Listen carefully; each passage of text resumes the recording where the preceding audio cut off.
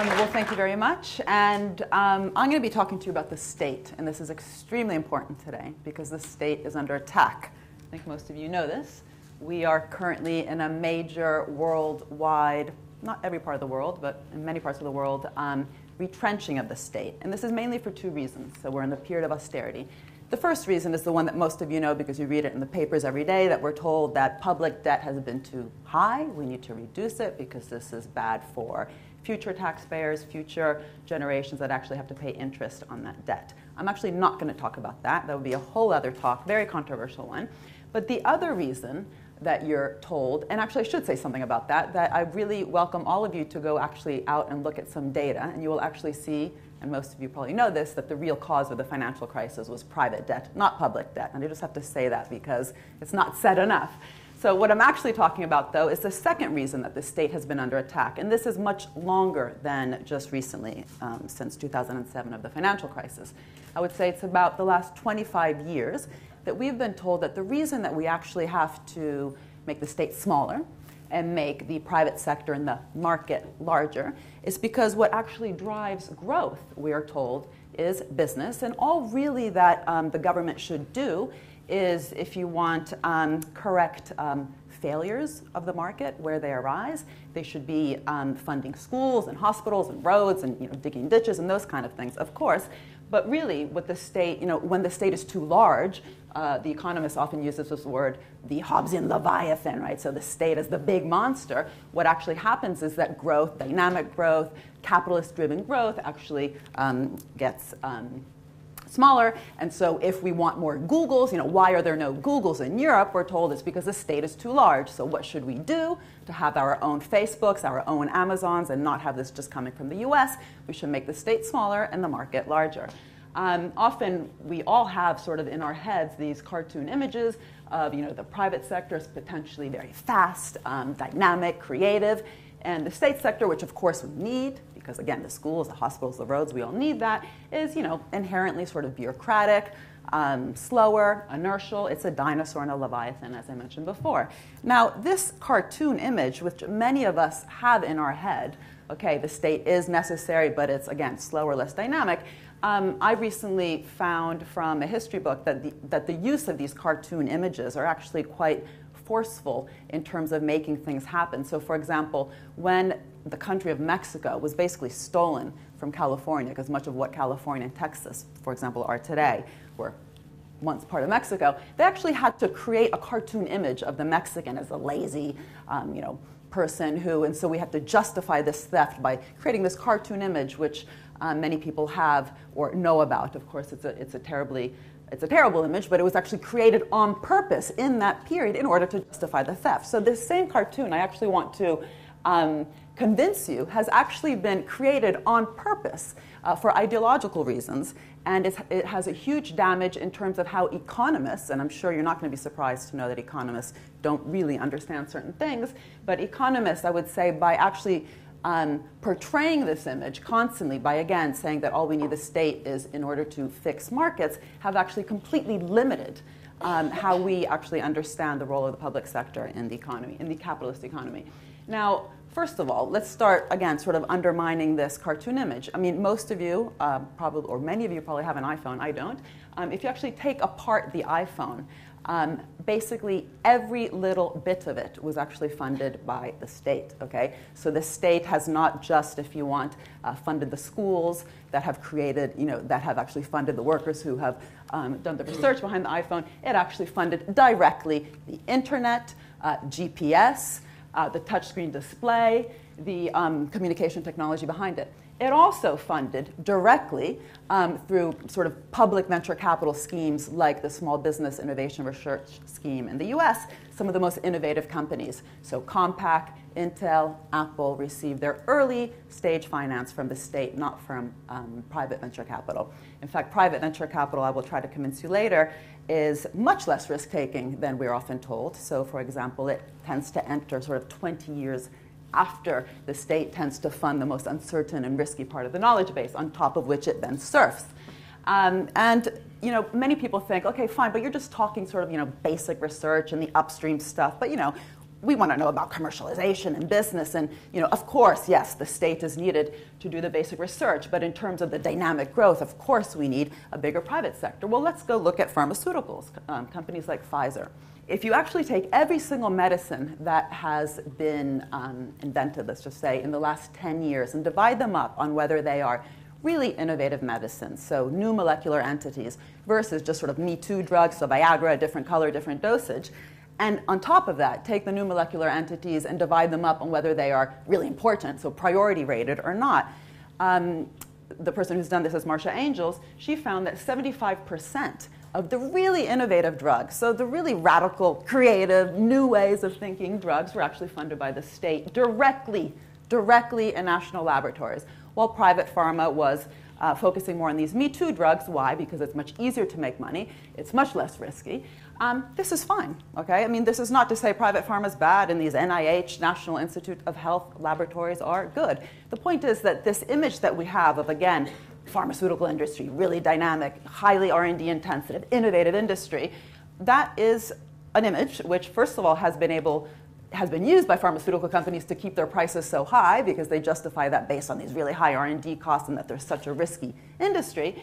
Um, and, it, and it's very important to just sort of step back and say, okay, let's look at all the players in the pharmaceutical industry. Let's look at the large firms, the small firms, the different types of state funding.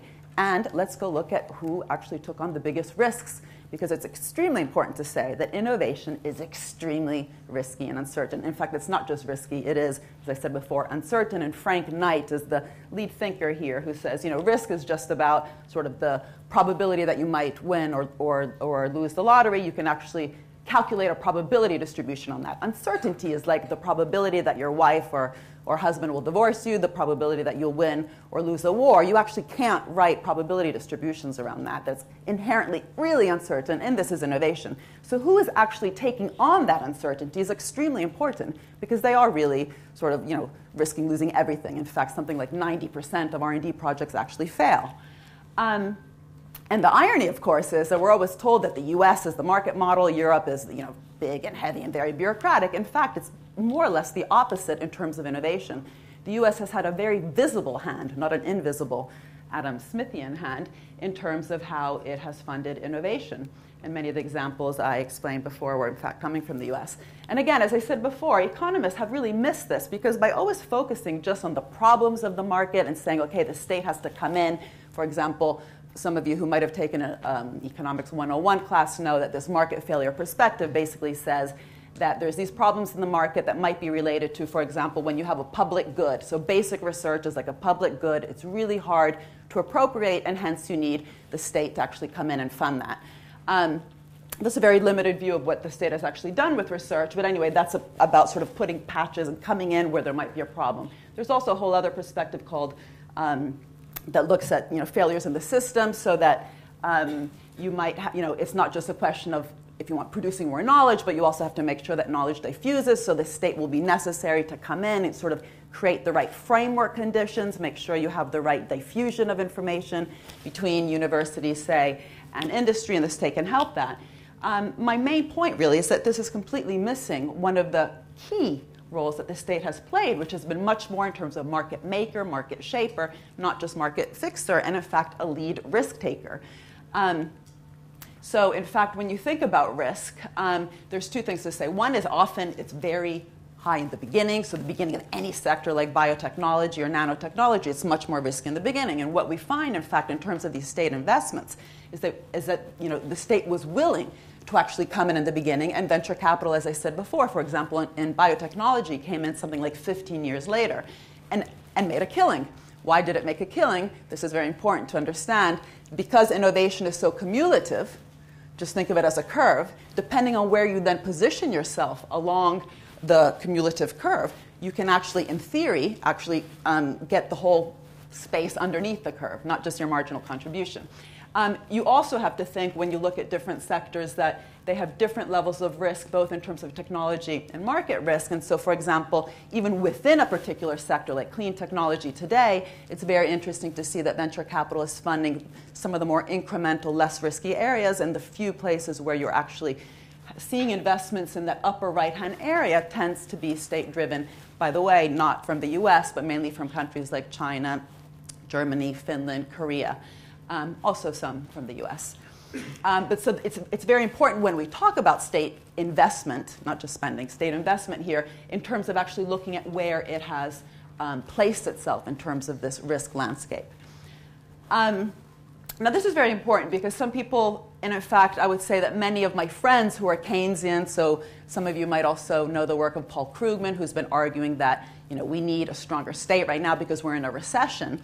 Um, this is also limited because it's not that you just need the state to be spending in order to get you out of a recession, which is the period, by the way, when you have too little private investment spending. So, this is the whole point of the Keynesians because private investment is so pro cyclical, you need government to come in during the bust and do counter cyclical spending. Okay, that's basically the Keynesian point, which I more or less agree with. What it misses, though, is that even in the boom, so the 1990s, when the whole dot com thing was happening, who was leading the way? The state. okay. who invented the internet? Who, again, funded these very high risk companies in the very early seed, stage? It was often these government funded programs. Um, and again, the point is not saying state is good, business is bad. That would be very foolish. The point is you have a different landscape of risk, you have different actors, and the state has often been portrayed in a way that really doesn't capture this, if you want, risk taking potential catalyst, a creator of the knowledge economy, not just um, facilitator of it. Um, and so, and it's interesting actually because one term that Keynes used was animal spirits. In justifying why you needed more government spending, he said this is because private investment is, is too much driven by animal spirits, which is basically your gut instincts about the future state of a sector or of an economy, and hence you often have too little of it. And so when you have too little private investment, you need the government to come in and fill the gap. But that word, animal spirits, right, it makes you, you know, think of the wolves or tigers or lions.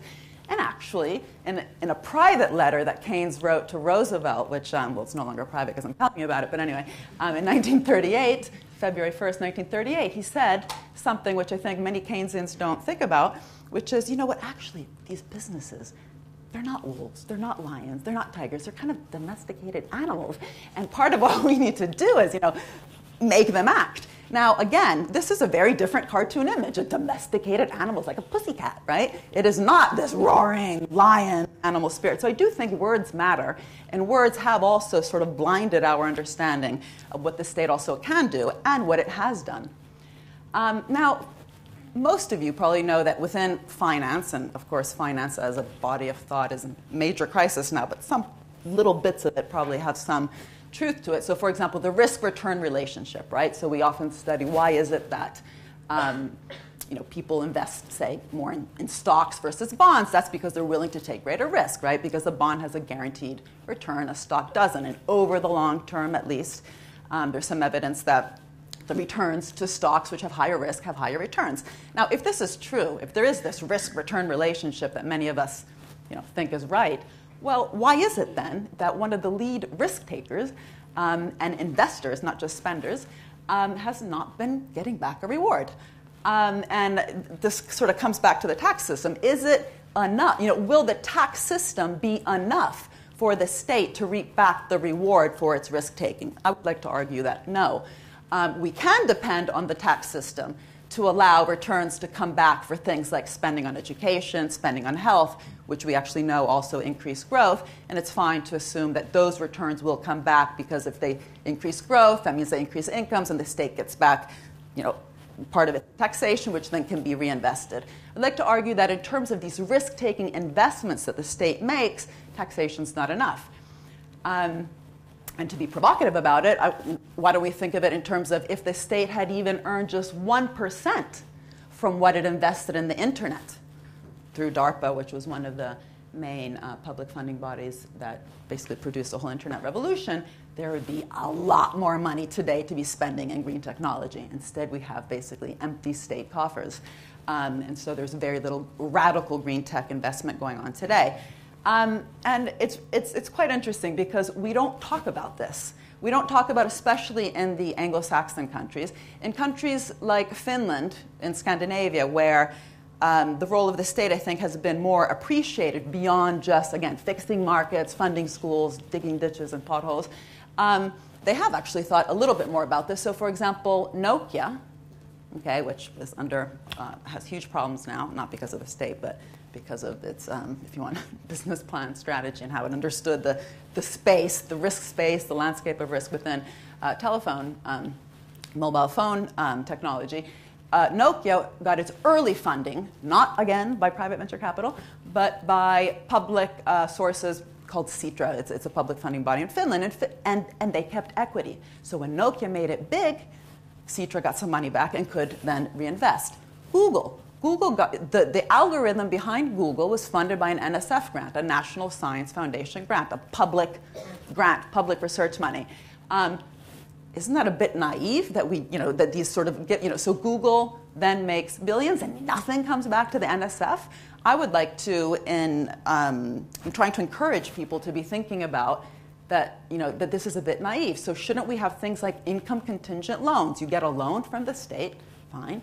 If you make it big, something small should come back. In Brazil, by the way, they have um, a, a, public investment bank, which is very successful right now because it's not just sort of making loans, it's also um, taking equity in particular areas that it wants to develop, so biotech and renewables, and it's making 20% return on equity. Uh, the Treasury takes a huge chunk of that, redistributes in the health system, in the education system, but the part that it then keeps and gets back, it reinvests. Now, this, again, this um, investment uh, mechanism that, that, then translate into a return mechanism and hence then also reinvestment mechanism is absolutely crucial to understand how investment in innovation can in fact be uh, cumulative and sustainable in the future. And this is hugely important today because the state coffers are empty. So we have to think more creatively on how the state can actually get back a return for its risk taking investments.